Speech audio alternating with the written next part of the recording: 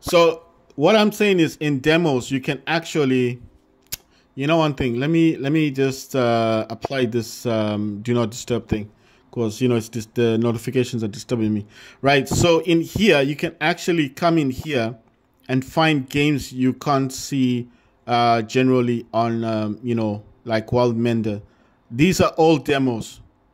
And the good thing about the demos is if when you download it you can actually play the game and review it like this game called Alter Evo. Uh, I don't know what this is. Oh, I played this the last time. I played this the last time. I have a video on that, guys. I mean, it's it's a sci-fi type game, but uh, I'm just saying, like, let's let's jump into this one instead. This is Wild Ma Mender.